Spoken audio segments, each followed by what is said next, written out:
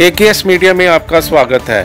महात्मा गांधी जी की 150वीं जयंती को Shiv Shakti welfare association Shiv जोत खरड़ ने एक पहल सामाजिक संस्था के सहयोग से स्वच्छता अभियान के तौर पर मनाया। इस दौरान शिव जोत कॉलोनी के भिन्न भिन्न जगह पर सफ़ाई की गई और लोगों को सफ़ाई के प्रति जागरूक किया गया। लोगों को सिंगल यूज़ प्लास्टिक का प्रयोग न करने के लिए भी अपील की गई। इस मौके पर शिव शक्ति वेलफेयर एसोसिएशन के प्रधान Vinod Rawat ji, vice president Manish Sharma ji, secretary Kapil Sharma ji, media secretary Manoj Sharma ji, cashier S K Mahanti ji, Vijay Kumar, विकास कुमार धीरेन्द्र कुमार, अनिल सिंगरा, राकेश कुमार और ए के पहल संस्था की तरफ़ से प्रवेश शर्मा और मनीष भारद्वाज जी ने हिस्सा लिया। ए के एस मीडिया से R K Raina, crime reporter और कैमरामैन स्नेहा की ये रिपोर्ट। नमस्कार। हमने आज का दिन तो ये स्वच्छता अभियान के रूप में इसको मनाया है। लोगों को हम चाहते हैं कि जागरूक करें, क्योंकि बापू का ये सपना था कि हमारा देश स्वस्थ रहे, साफ़ रहे, उनको सफ़ाई बहुत पसंद थी। यही इसी मोदी, इसी सपने को मोदी जी आगे बढ़ा रहे हैं। तो हम सबका भी ये कर्तव्य बनता है कि हम इसे जन जन तक पहुंचाएँ। सफ़ाई एक दिन का काम नहीं है रोज़ हमें अपने दिमाग में लानी पड़ेगी कि हमने कूड़ा नहीं फैलाना है। और सारे शहरवासियों से रिक्वेस्ट है कि सिंगल यूज़ प्लास्टिक को बिल्कुल बंद कर दें। ये धरती माता पे बहुत बड़ा बोझ है, बहुत बड़ा बोझ है।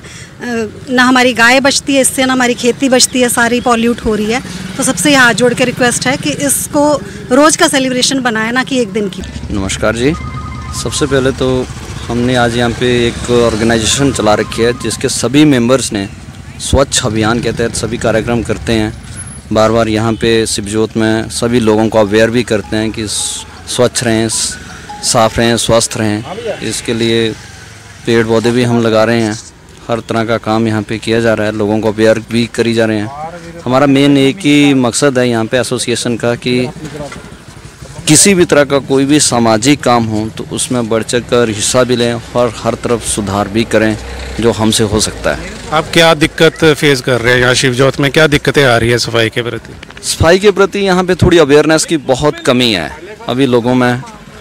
तो लोग क्या करते हैं कि कूड़ा उठाते हैं, उसको प्रॉपर ड्रेनेज में या मतलब डस्टबिन में नहीं डालते हैं। इधर उधर डाल देते हैं, जो कि बहुत ही गलत है। इवन तक कि उनको गीला कूड़ा और सूखा कूड़ा भी कई बार मिक्स ही कर देते हैं। अगर वो मिक्स करते हैं तो उससे कोई भी पशु उसको खा जाता है कई बार।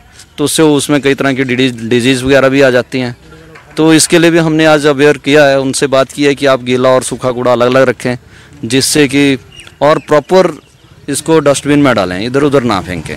ये जो आप कॉन्टीन्यूस प्रोसेस रखेंगे कि जैसे आज ही एक दिवस मना के छोड़ दें? नहीं ये हमारी कॉन्टीन्यूसली प्रोसेस रहती है। हम तो वैसे भी हर दिन ही कोई भी अगर हमें मिल भी जाता है इवन तक कि कोई तो हम उसको रात के 11 बजे भी उसको पकड़ लेते हैं भाई ये ऐसे मत फेंको इसको डस्टबिन में प्रॉपर डालो। जैसे ये एक और है कि सिंगल यूज़ प्लास्टिक का जो मुद्दा चला हुआ है उसके बारे में बताएँगे। जैसे यहाँ पे मार्केट में मैं देखा कि अभी भी प्लास्टिक का यूज़ हो रहा है। प्लास्टिक का यूज़ होना नहीं चाहिए टोटली बंद हो जाना चाहिए। मेरे तो यह है कि इनकी कंपनी ही बंद होनी चाहिए पीछे से ही। जहाँ भी जाएँगे प्लास्टिक यूज़ फेंकेंगे डस्टबिन प्लास्टिक यूज़ पड़ेगा या करेंगे तो उसको उसकी तो वो एक तो वो डिस्पोजेबल नहीं होता है। डिस्पोज नहीं होगा बायोडिग्रेडेड नहीं होगा तो हर तरफ़ से सीवरेज भी ब्लॉक होती है तो कई तरह की प्रॉब्लम आ जाती है। धन्यवाद।